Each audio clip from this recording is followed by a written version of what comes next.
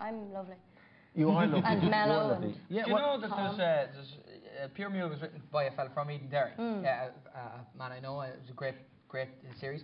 And one of the parts in it, Scobie, was for a young man. Uh, this was a few years ago, in his little, mid to late twenties, kind of cheeky, uh, with an Edenderry accent. And uh, some actors and some indeed comedians tried out for that part of a young man from Edenderry with an Edenderry accent. And that comedian was such a bad actor, he didn't get a part which was essentially him.